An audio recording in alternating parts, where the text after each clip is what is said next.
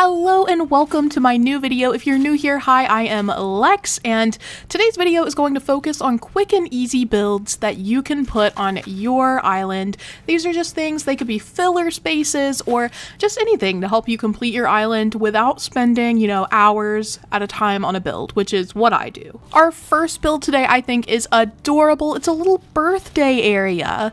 You can make this as simple or as complex as you like, but it's quick, it's easy, you get some some tables, some benches or chairs, and set up some balloons, and you're ready to go. And look at how cute it is. It takes up a good bit of space, too, considering how few items you actually need to complete it.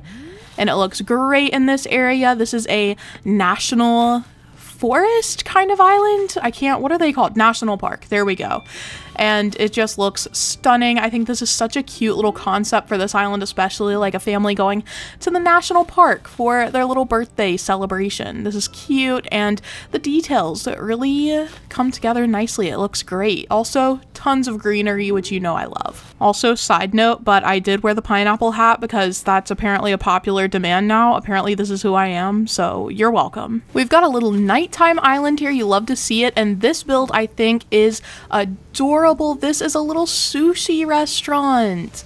Again, this can be as complex or as simple as you like, but I think the idea of using the actual caught fish in order to make the tables or the counter is so cool and it's also really quick. You can make all of these chairs, these little stools. You can uh, catch the fish and then you can make the build. You don't have to wait forever for Nook shopping items to come in. Although you could also cook some dishes, which, you know, might take some time to acquire ingredients.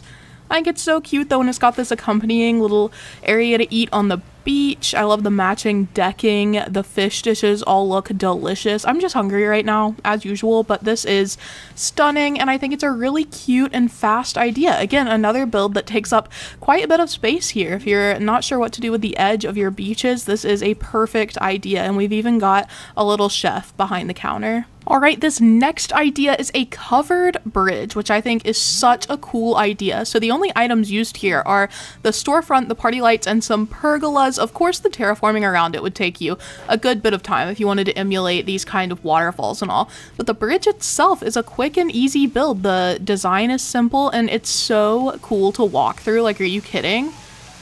that is an experience in itself. I love having parts of the island that are just fun to walk through, just an enjoyable experience when you're playing casually, and this is one of them.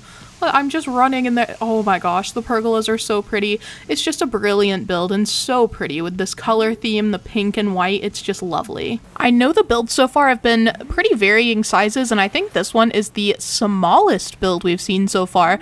I think it's adorable. This is a little storage shed. It's literally just two of the retro transportation stops and a bench, and you can add whatever little details you want. This creator has added some wheat fields to make it more lush. I think the kettlebell is a good choice here. It's like a little fitness um, storage shed, which makes sense because this island as a whole is like sports themed.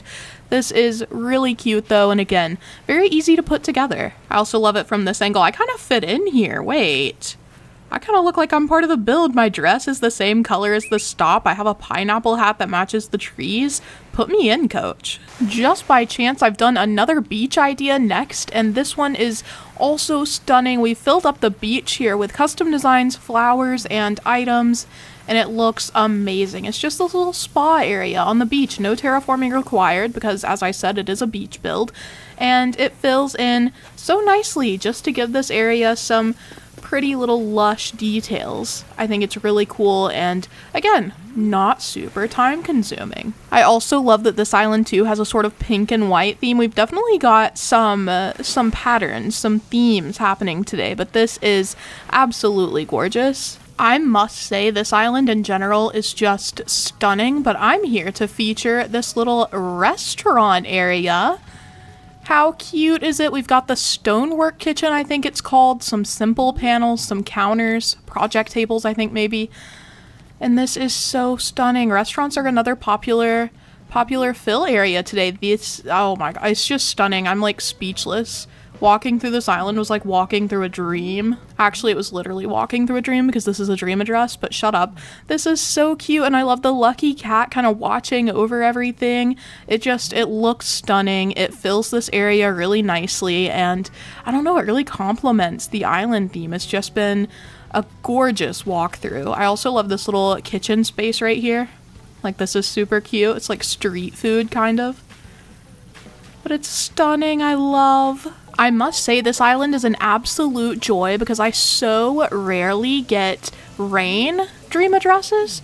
Just rainy islands, I feel like I never see. But this is another stunning little filler space. We've got just a little campsite here to the left of Nook's Cranny with a waterfall view, a bridge over there, and most of this area is just trees and some flowers. Very few items needed, a very quick build, but it fills up a ton of space here between Nook's Cranny and the bridge. And it's just, it's so well done. And again, I love the fact that it's rainy. That really just sets the mood. I don't know. And we've got this like physics defying fire over here that's still going in spite of the rain. It's so brave. Not God's bravest soldier, because that's me, but very brave. This is just stunning. I love the barbed wire fences as well. I think they look so good on islands like this and the dirt path. Here's Nook's Cranny, as I was saying. I feel like I keep mentioning it, but you couldn't even see it. So just over to the left, we've got this little filler fit space, a pond, and the campsite. I think it's adorable. Okay, everyone shut up because the gyroids have something to say. Or sing, rather. Play? I don't know. I don't know what you'd say. Also, the island representative is hanging out with us now.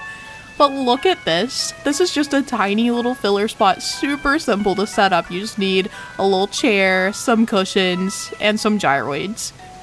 Well, and this little portable music thing, um, obviously, because look at them. They're playing along with the music. Oh my gosh, this is freaking cute. It's so adorable. I also love the peach trees around. They add such a nice little touch of color while still feeling cohesive with the like green and brown theme we have going on. This is just so adorable, bro. Look at them. They're so happy. And it's a way to use your gyroids. I feel like I collected a million gyroids when the 2.0 update came out and then I just never used them. Here's how you use them. Up next is a build that I have never seen before that I remember and it's a little mechanic shop.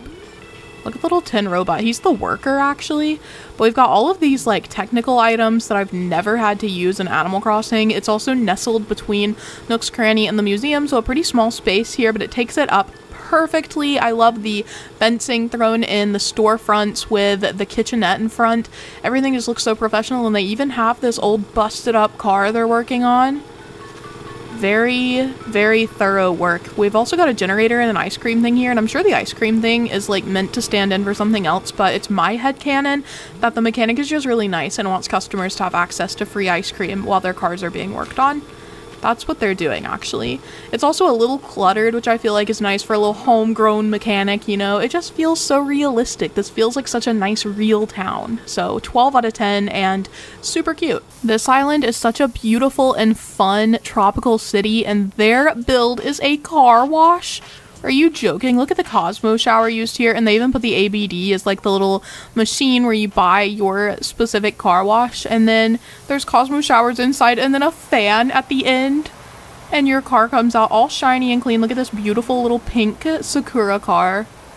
Are you even the bubbles in there? They're waxing.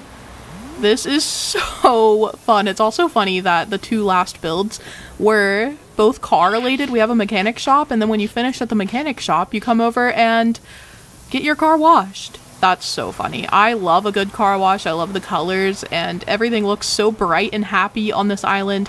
12 out of 10. I think this is a brilliant place to end. As always, I hope you're feeling super inspired and ready to tackle the rest of your island with these quick little filler areas for you to build. I think these were wonderful ideas. I think we got a good variety. I hope you loved them. Until next time, Pookie Bears, bye!